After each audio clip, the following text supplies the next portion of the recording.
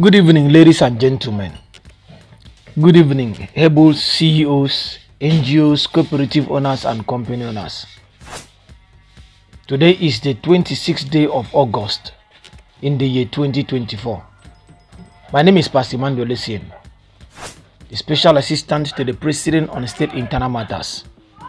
I'm bringing this announcement to every NGO, CEO, cooperative, and company owners who have registered with ODEF Intervention Fund. Please, we want everybody to take notes of the following. Number one, we are giving every registered organization 24 hours for you to submit your hard copy or soft copy of your document to either ICT or the state platform. Number two, you are to submit your attestation to ICT and also the state platform.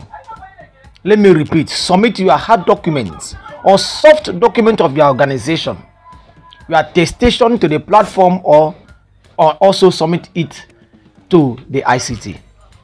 Number three, if you know that you register under us, National Association, either through the national coordinator or through I myself, please be rest assured that, that we are going to capture you. But if you register with us and you went ahead to register with another person, just because you wanted to register more than one place, please, you will not be captured more than once.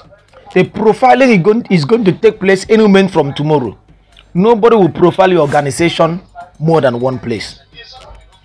I want everybody to note that we will not be responsible if after under 24 hours, beginning from today, the 26th date of August 2024, you don't submit your organizational details, soft copy or hard copy of your document and attestation, you will not be captured. Please make sure you submit all this between today or tomorrow, the 27th day of the month of August. God bless everybody. Once again, my name is Pastor Emmanuel Essien, the special assistant to our dear president, Ambassador Dr. Pascal Anyanwu, on state internal matters. Thank you. God bless every CEOs.